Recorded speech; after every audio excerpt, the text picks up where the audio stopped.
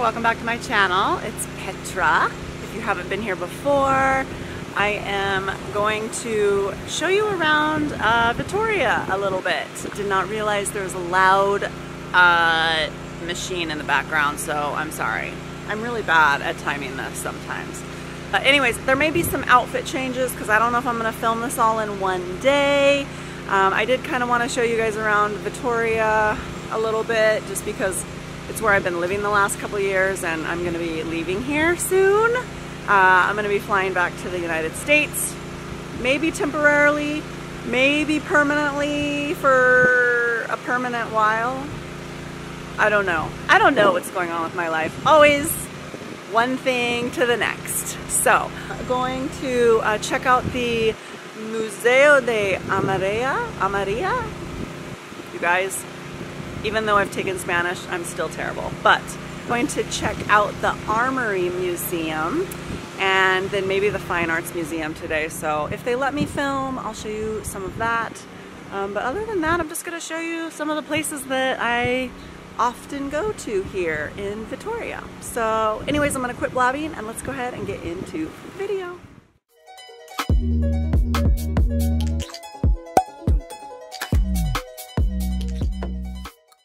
Sorry you guys, I could not film in there, but it was super cool. Lots of really interesting armor. I'm really proud of their win in the with the Napoleon Wars that happened here. So they have some armor from that and a lot of swords and they even have some like Asian and Arab type weapons and lots of really cool stuff in there. I'm really surprised at how much they had and they had a little, you know, I could listen to a lot of the info with a code I could scan and listen to the history. So kind of cool to think, oh wow, they actually wore this stuff in in a war. anyway, so now I'm gonna try and go to the Fine Arts Museum and check it out. I don't know if I'll be able to film once again, but anyways, I will I will see what I can do. All right, let's go.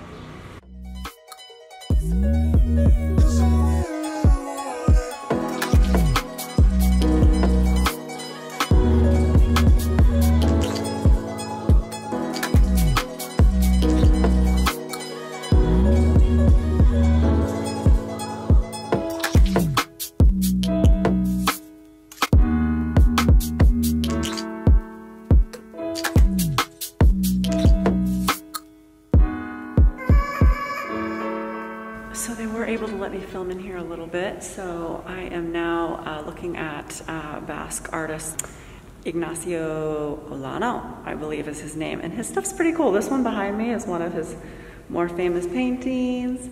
And I'm gonna show you some of the others.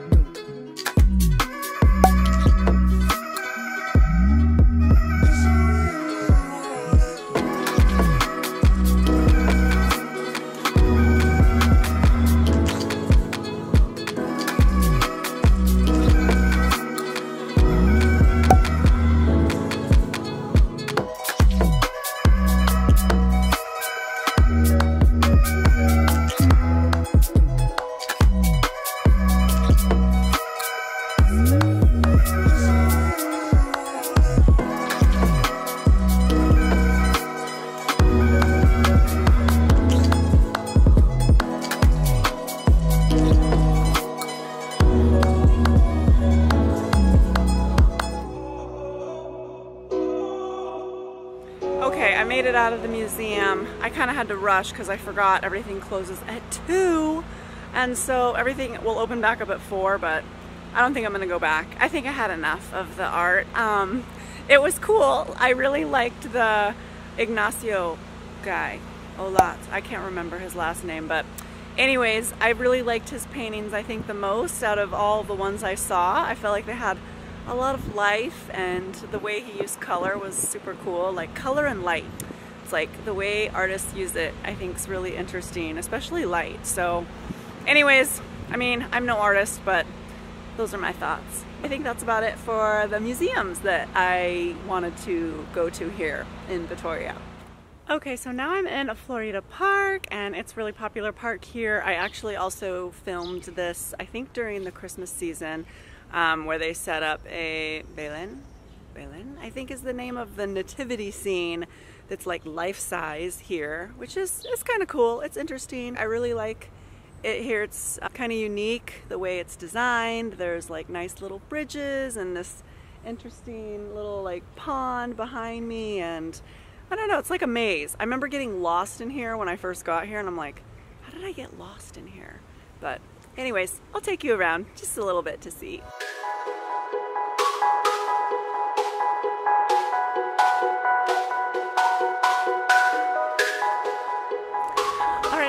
I am back and I'm actually today going to tour the Santa Maria. It's the cathedral here that is I think it dates back to like the 9th century and they've been doing construction and they're actually allowing tours and they have been allowing tours. Um, you know, you have to wear like a hard hat or something, but they're restoring it. They're doing like major restoration on it. I don't know all the history about it, but I'm gonna find out more. I'm gonna try and see if they let me film in here. If not, I'll just try and give you guys as much information as I can about this interesting cathedral. So Santa Maria Cathedral, it's located at the top of La Almendra in Vitoria, on which the original Gasteiz settlement had started. It has had quite the makeover and redos throughout time. So first, and the most interesting to me, is the foundation, which is where we're headed now. And it's had to undergo major renovation because it really needed to ensure a solid structure and future survival of the site. I think they've even removed graves out of here before.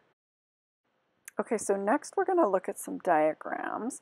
There's four models here. First one is between 711 and 1150, and it shows the first stable settlement.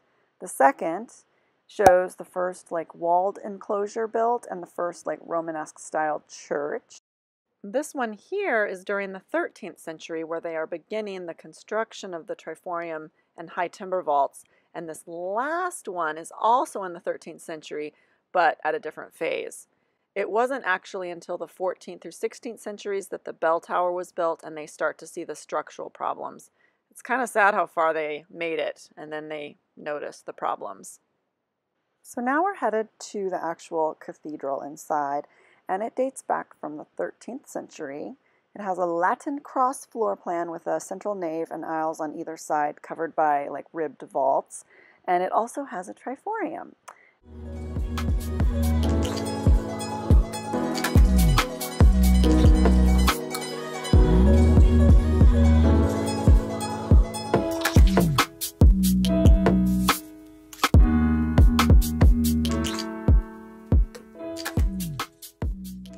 Also, the octagonal tower, including the bell tower, dates from the 16th and 17th century, where you can see a really nice panorama of the city.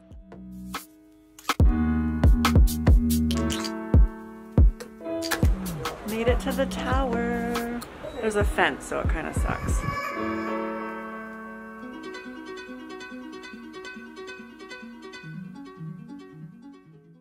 The 1700s, they made a new enclosure for the graves, and this is when the structural problems became more evident. And then finally, in the 1960s, a comprehensive restoration plan was drawn up, but it wasn't actually until like 1994 that the cathedral was uh, closed to the public. In 1999 is when the structural rehabilitation actually began, and in 2014 they allowed it to be open again for worship. Um, so today the cathedral is still undergoing construction, but no more hard hats. They used to have hard hats until recently, but their tours I was on, did, I didn't need one, just a mask, but that was only for the pandemic.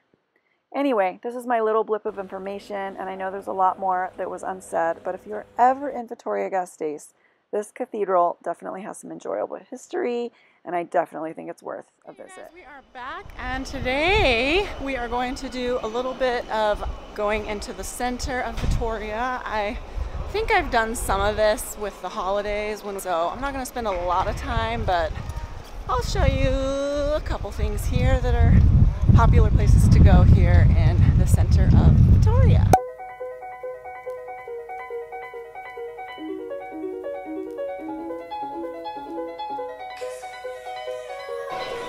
This area is Calle Postas and they have a lot of like uh, markets as you can see here now they have like a it's a lot of books that they do and then um, it's just kind of a nice little walk there's little shops here and cafes and things like that that church right there is the Church of San Vicente Martir. It has a really popular uh, pincho bar below it called Bar Toloño. Okay, now I'm gonna head into the Plaza de España, which I have shown you guys this a lot before. Uh, it sounds like there's something going on in here though today. There's like um, some Basque, I don't know, some singing happening. So I'll show you a little bit of this.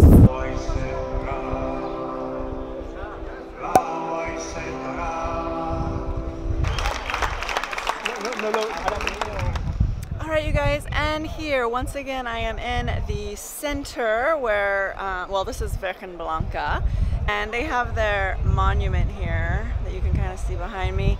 They're very proud of this statue or monument here because I believe it was built because they were the only city or one of the only cities that weren't defeated during the Napoleon Wars. So yeah, just gonna show you a little bit around here. And then this church behind the A la Batalla de Vitoria, there is the Church of San Miguel. So that's what this church is that sits behind. And this is, is the very popular Vitoria Gasteiz sign. I think in like 2010 they were named like the Green City of Europe or something. I don't know, they're very proud of that too. Um, here they have this uh, sign that I don't think is the most attractive, but it actually is much prettier now because they replaced it. It used to be like brown and gross and now, so it's actually green again, which is nice.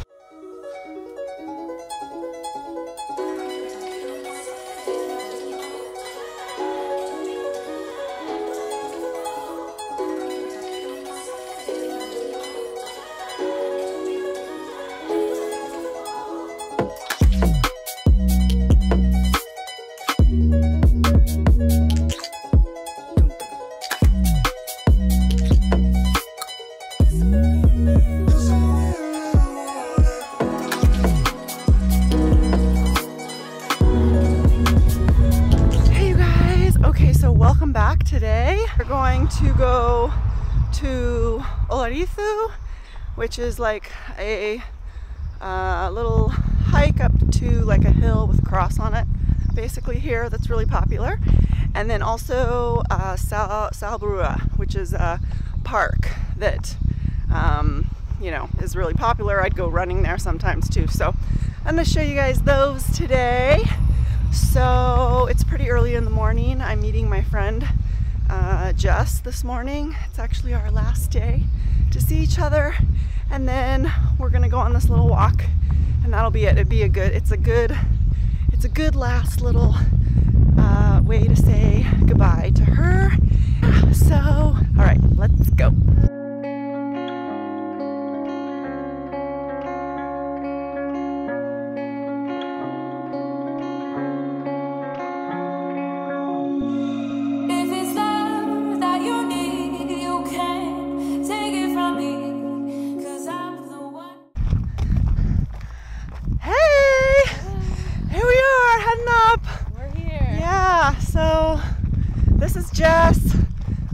Shot of her earlier, but yeah, this is Jess, my friend, saying goodbye today.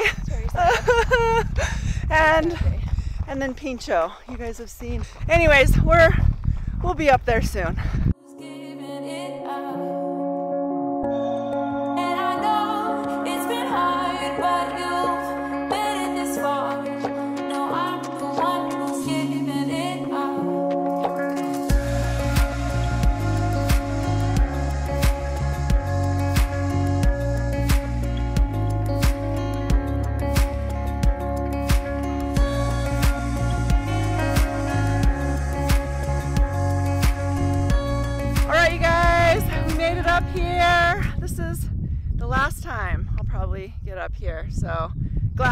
Buddy to do it with, Jess. Um, so this is it. I'll show you guys the view and and the cross. So woohoo! All right, up here for the second time um, because when Jess was so kind to film that little clip, she set the leash down for Pincho. And so I decided I'd come back up here because she's actually pregnant and she has to get back because she's learning Russian and she has this Russian lesson and that's the whole reason we came up here early today. So anyways, I'm up here, I'm back again and gonna get the leash and then head back down.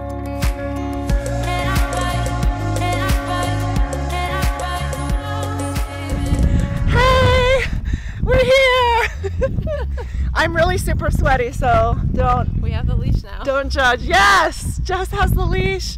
I went up back up there. I couldn't run the whole way up there. It was way too hard. But she was so nice and She's waited. Friend for going up after this for us. Well, and Jess is so cool to wait for, you know, me to come back running and so we can have our last time together. Oh.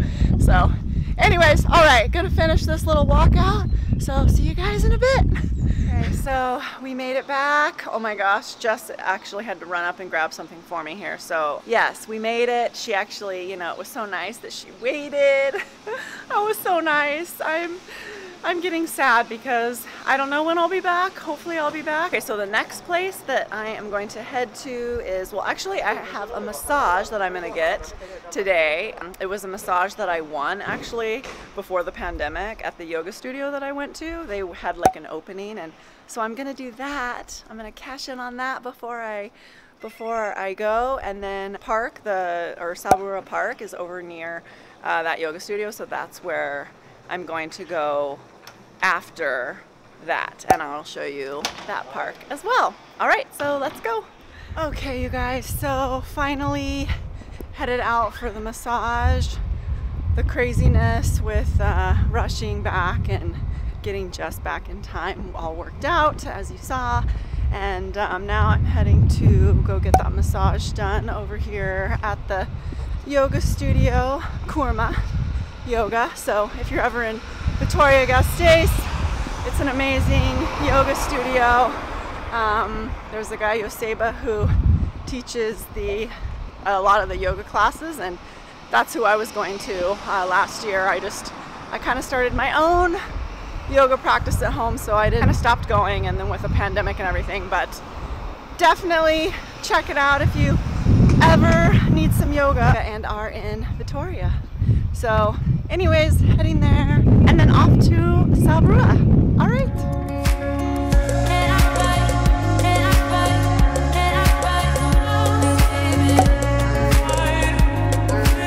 All right, so I just got done with a massage and now I am over here at Cafe Tasa, which is my favorite cafe here in all of Victoria. So of course I have to take you on a little adventure in here. So let's go.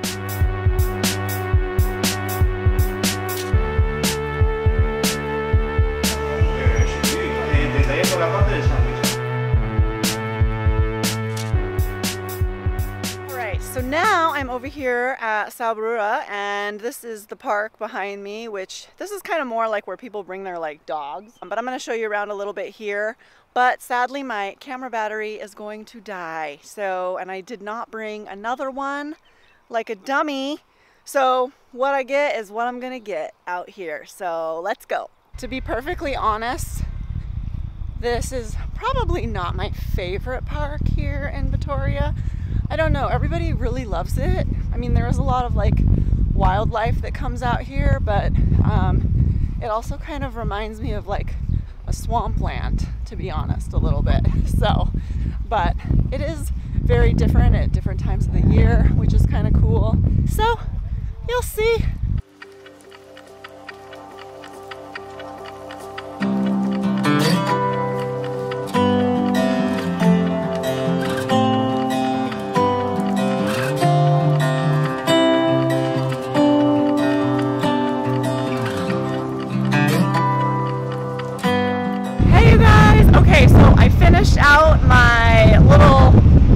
Of the parks and everything today, and so now I am taking off to Madrid. Okay, you guys, so this is me from the future, and I totally realized I did not explain anything very well at the end. I had had some friends show up at the train station, and it was really chaotic. My the rest of my day was super chaotic. So I didn't even get to say that this video was basically my last video in Vitoria. I don't know when I'll be back. So that's really what I wanted to say, but I was just like trying to catch the train and get out of there. So yeah, just wanted to let you know that. And this is going to be the start of a new video because I'm going to do a vlog here in Madrid. So that will be the next video. So you'll have to stick around for that. Um, but yeah, my train's coming in seriously like a few minutes. So I'm trying to rush this ending. But I hope you guys enjoyed this Vitoria video and see you guys in the next video. Bye. This grass that is grown now. Oh, you can be in. Oh, you're like, no! Alright. Sabura. Sabura. Sabura.